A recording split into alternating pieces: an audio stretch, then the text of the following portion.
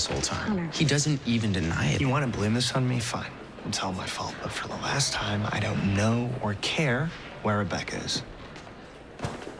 Just screw Oliver already if it makes you stop being such an ass. Excuse me. My phone died. Can I borrow one of yours? Yeah, yeah, you can borrow mine. He has a boyfriend. His name's Oliver, and he's wonderful. Oh, what about you? Boyfriend? Because uh, this is just a ploy for me to sneak my number into your phone. Levi. She doesn't have a boyfriend. actually, I do. She's lying. Connor. It's okay. I get it. You're not interested. Uh, she totally is. Not sorry. What the hell?